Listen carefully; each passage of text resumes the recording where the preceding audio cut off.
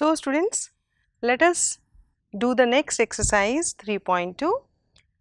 In this the first question says, form the pair of linear equations in the following problems and find their solutions graphically. The first question is, 10 students of class 10 took part in a mathematics quiz. If the number of girls is 4 more than the number of boys, find the number of boys and girls who took part in the quiz. Look here, we have number of girls to be x and boys to be y. So, first condition was x plus y is equal to 10. Very simple equation. For when I take x is equal to 4, obviously y is equal to 6 and when we take number of girls as 6, boys have to be 4 and if I take number of girls as 5, obviously boys also will be equal to 5. So, these are the points for the first equation. Likewise, for the second condition x is equal to y plus 4 because girls are 4 more than the boys. So, x is equal to y plus 4 or x minus y is equal to 4. If I put the values of x, if I take x as 8, I get y is equal to 4. Likewise, on taking x is equal to 6, I get the value of y as 2. Likewise, for when x is equal to 7, y is equal to 3. So, both the lines are meeting at which point? 7, 3 because if I take here 7, here the value of y will be 3. So, this is a common solution for the pair of equations. So, the solution is 7 comma 3 x is equal to 7 and y is equal to 3. Number of girls is 7 and number of boys is 3. Let us see the graph. Can you see these two lines? We have plotted. This is for x plus y is equal to 10 the points 0 comma 10 3 comma 7 4 comma 6 5 comma 5 6 comma 4 we have plotted. And these all points are satisfying the given equation. Likewise the other line x minus y is equal to 4 is represented in the graph in this way. 4 comma 0 5 comma 1 6 comma 2 8 comma 4 and obviously the common solution is shown here 7 comma 3 that is number of girls is 7 and number of boys is 3. I hope you have understood. Let us look into the next question. 5 pencils and 7 pens together cost 50 rupees whereas 7 pencils and 5 pens together cost 46 rupees. Find the cost of one pencil and that of one pen. So, let us take let the cost of one pencil be rupees x and cost of one pen be rupees y. So, according to question I get 5x plus 7y is equal to 50. This is our first equation. Second condition is 7 pencils. So, I get 7x plus 5 pens. So, 5 into y is equal to 46.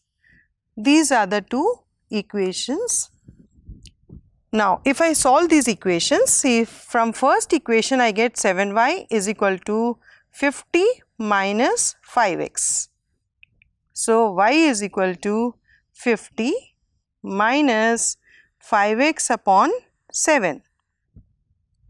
Now, to find out the various values, see here, I am going to teach you a very simple method of finding the values x and y.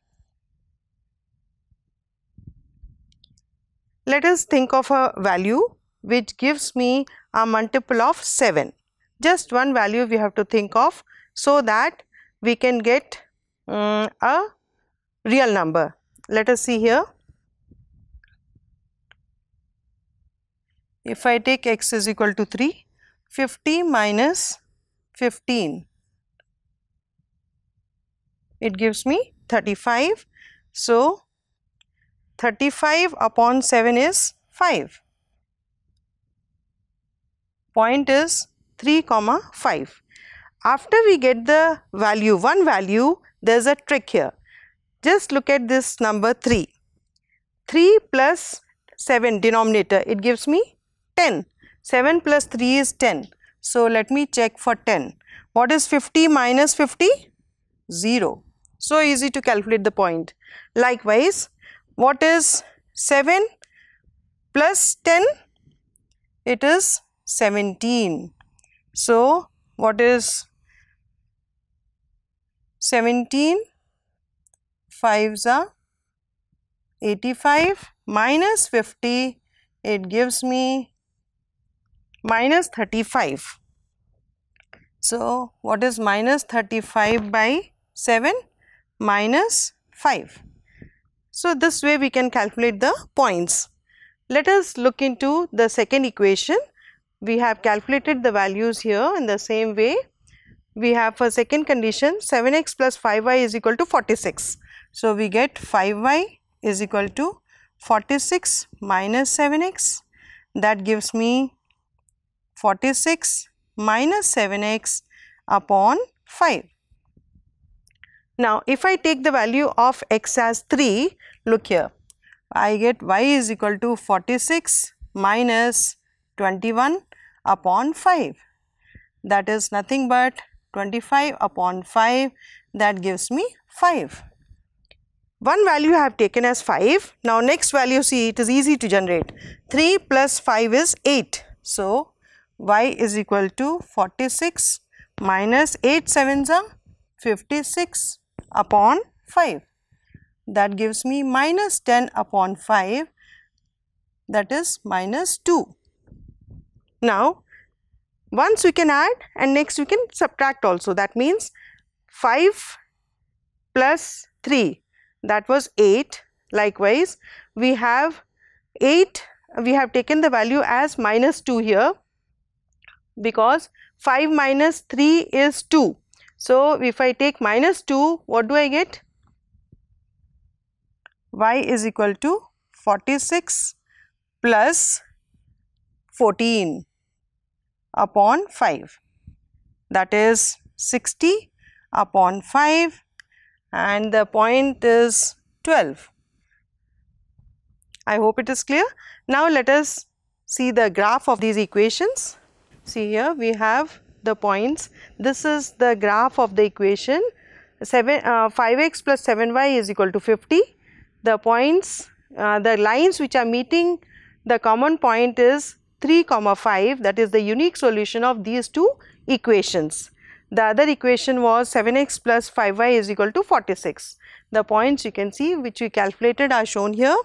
If we plot they meet at a uh, common point and that is the solution of this equations. So students before we go into question number 2 let us have an introduction about the conditions which are required for solving the linear equations in two variables. What was the general form? We had a1x plus b1y is equal to c1 and a2x plus b2y is equal to c2. So, we have three different cases for unique solution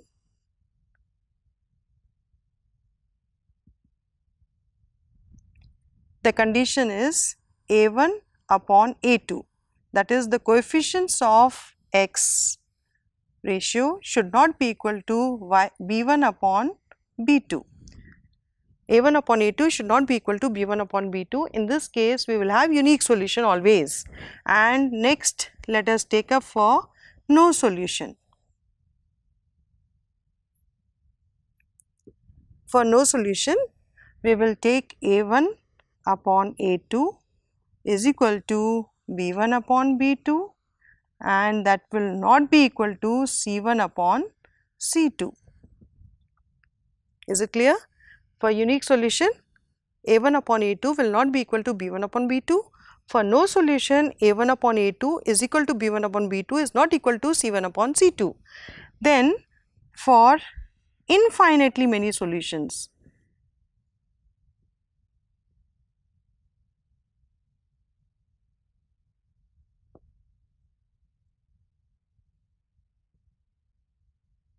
we have a1 upon a2 is equal to B1 upon B2 and that is equal to C1 upon C2.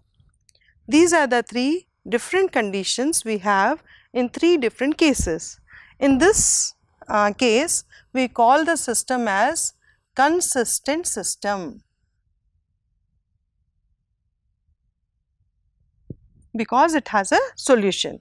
Here for no solution, the system will be called as inconsistent, inconsistent system. For infinitely many solutions again we call it as system is consistent.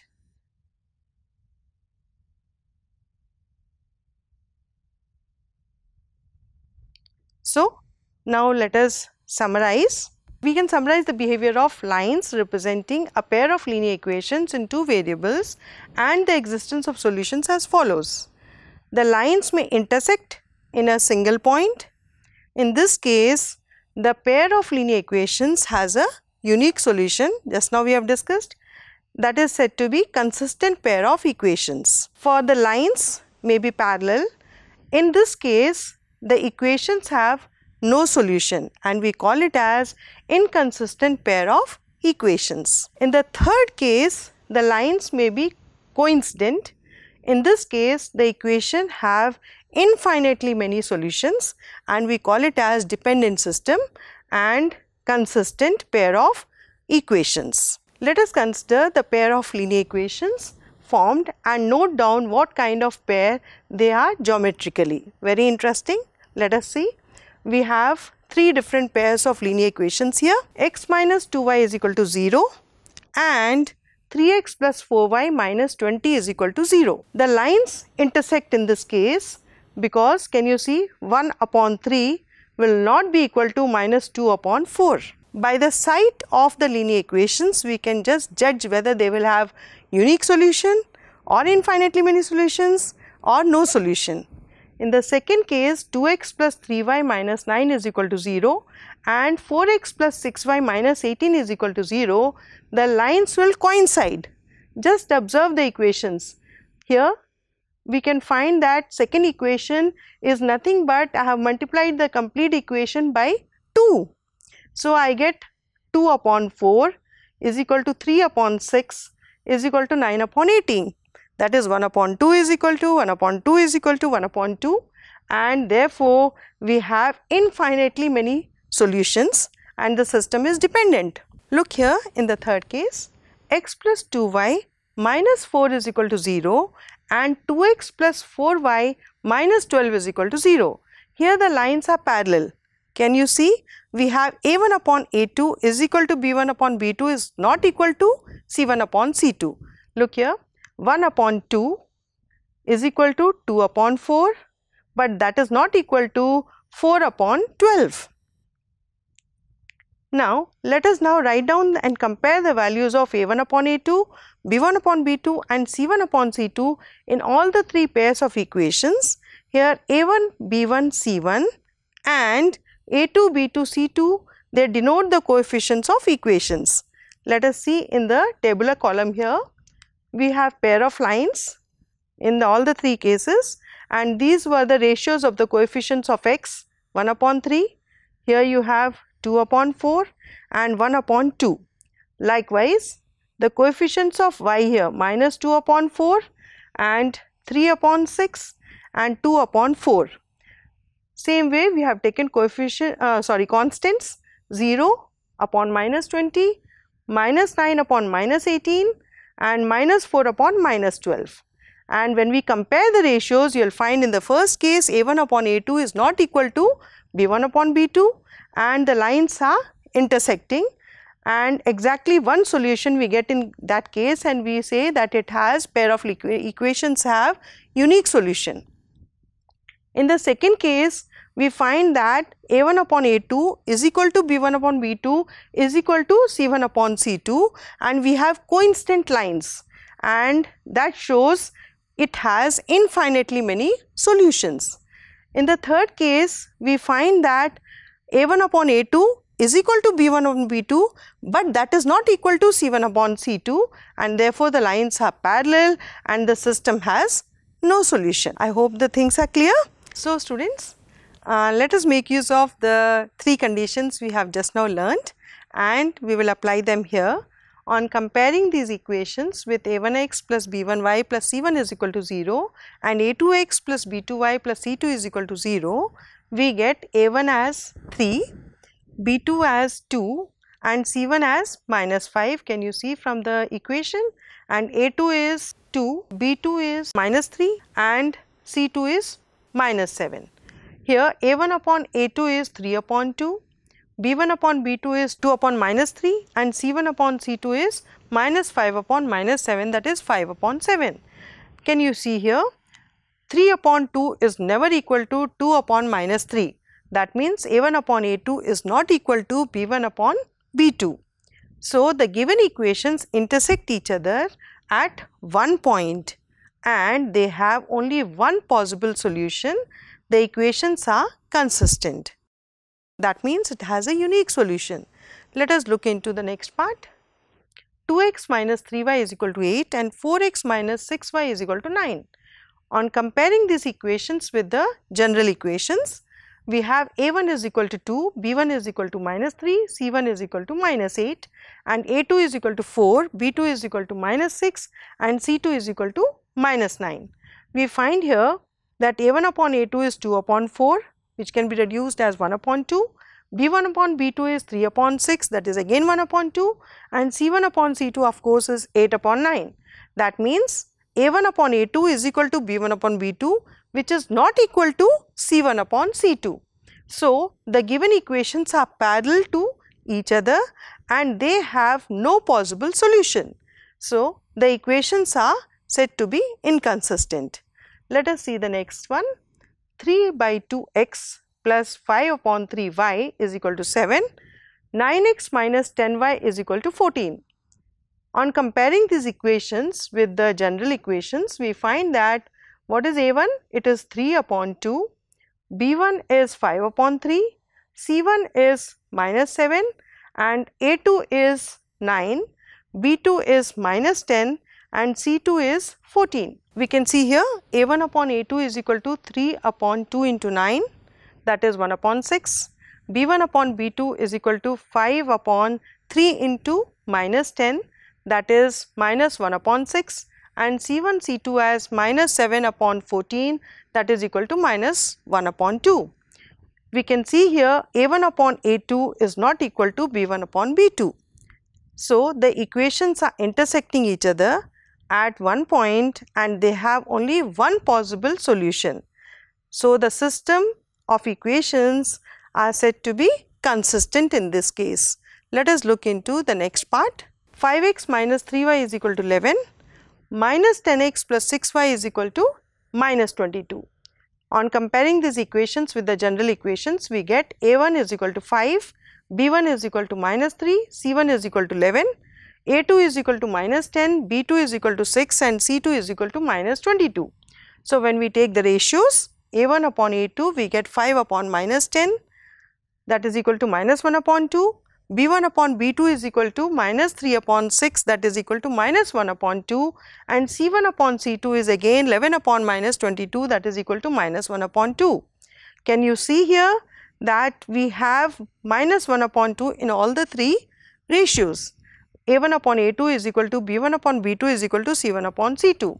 So, the equations are coincident lines and they have infinite number of possible solutions. Hence, the equations are said to be consistent.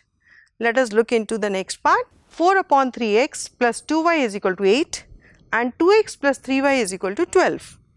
On comparing these equations with the general equations a1x plus b1y plus c1 is equal to 0 and a2x plus b2y plus c2 is equal to 0 we get a1 as 4 upon 3, b1 as 2, c1 as 8, a2 is 2, b2 is 3 and c2 is 12. When we take the ratios, what do we observe? A1 upon A2 is equal to 4 upon 3 into 2 that is equal to 2 upon 3. B1 upon B2 is 2 upon 3 and C1 upon C2 is 8 upon 12 that is again reduced to 2 upon 3. That means A1 upon A2 is equal to B1 upon B2 again equal to C1 upon C2.